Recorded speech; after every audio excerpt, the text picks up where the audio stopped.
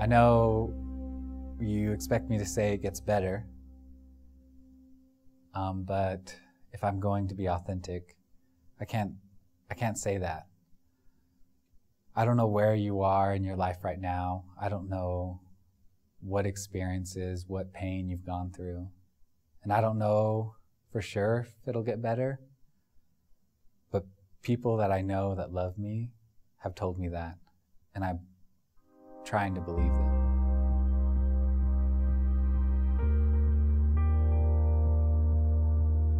Hi, I'm Adam. I am gay and I am Mormon and I'm a student at BYU studying music and theater. My name is Heather Waddington and I'm a senior at BYU and I'm a lesbian. Well, my name is Derek. I'm 24, a BYU student majoring in international relations, and I'm gay. My name is Jenna Hawkins. I'm a BYU student. And I'm Mormon and I'm a lesbian. My name is Kiefer. I go to BYU. And I'm gay. I'm Mark. I'm a gay BYU student. I am a Mormon. And I'm a lesbian. And I'm also gay. And I'm bisexual. And I'm a statistics major at BYU. My name is Andrew Brown. I'm a gay Mormon, and I attend Brigham Young University. And I know what it's like to feel like you're alone.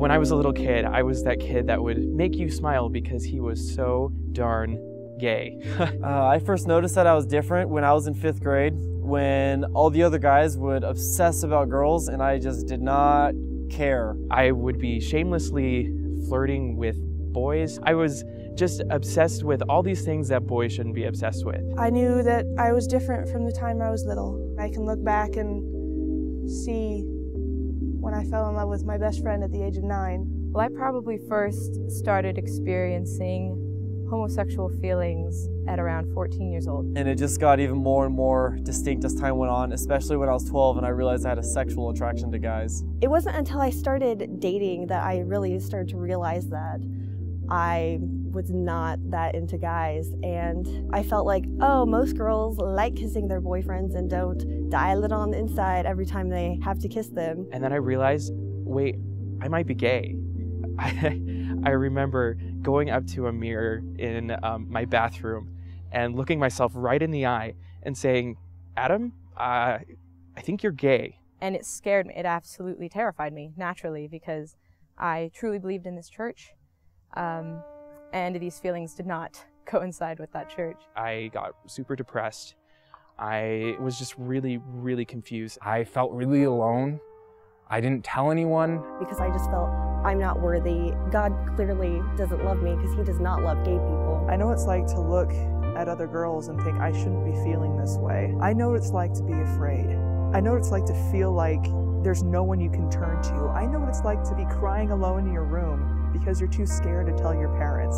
I know what it's like when your father condemns you. I know what it's like when people won't talk to you or tell you not to come around. To call you weird, to call you immoral, to call you a whore, to call you soulless.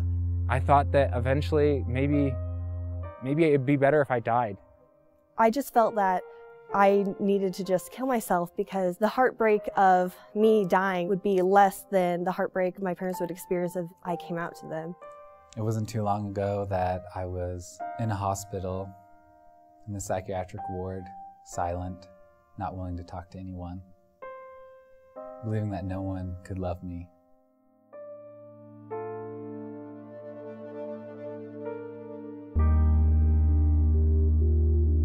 So I did everything I could to really be that perfect Mormon. Um, I thought that was going to cure myself. I tried to do as much band, choir, drama, bishop's first assistant, service projects, mutual, seminary. I tried to get into all these things so I wouldn't have to think about my sexuality. And I would ask, like, God, if I read my scriptures every day and I pray every day and I do everything I can, will you please take this away from me?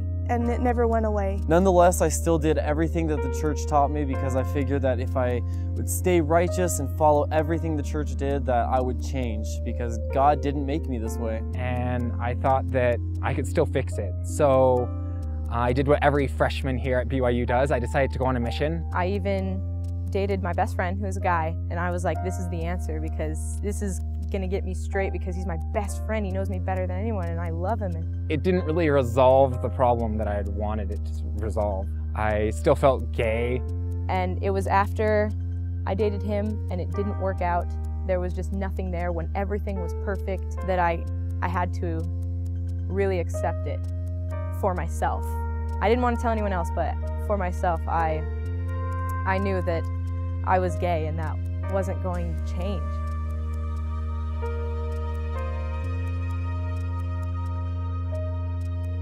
And I prayed to my Heavenly Father about it. You know, I, I told him, guess what? I, um, I found out this thing about myself. Is that okay? I, I never asked it that way before. I had always fasted and said, take this away, I don't want it.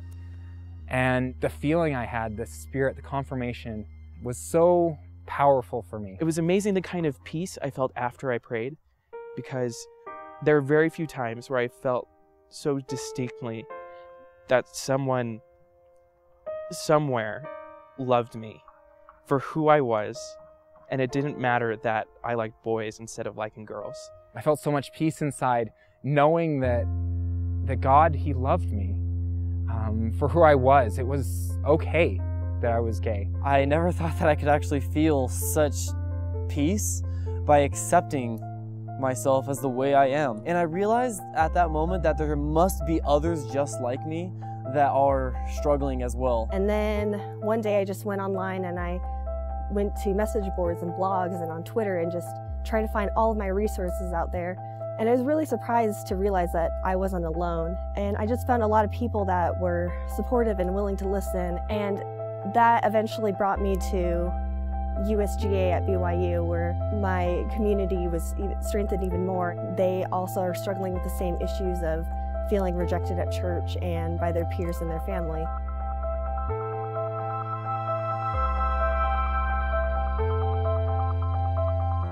I found peace when I started helping other people. I decided to come out to some of my friends, and they've been supportive, even here at BYU. I don't go to school with a bunch of hateful people, which is what I, I thought before. I thought I was surrounded by homophobic people that would hate me if they knew. A couple years ago, my sister told me she would never let a gay man watch her children because she said they were deviant and more likely to molest them.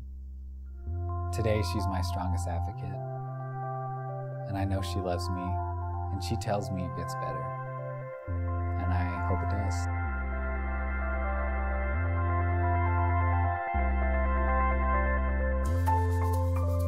It gets better. Even on this campus. You might not know how to reconcile your Mormonism and your sexuality, but I want to tell you that there's a space for you. We know that there's a lot of other kids here at BYU who've been pretty sheltered, but not all of us are like that. We're here for you. If you need something, send us a message. There's plenty here that care. I'm a straight ally. I am helping to make it better. And there are people who love you, and I love you, and it does get better. And it does get better. It really does get better. It gets better. It gets better. And I, I do really promise that it does get better. It does get better. Because there are people out there that will be a safe place for you.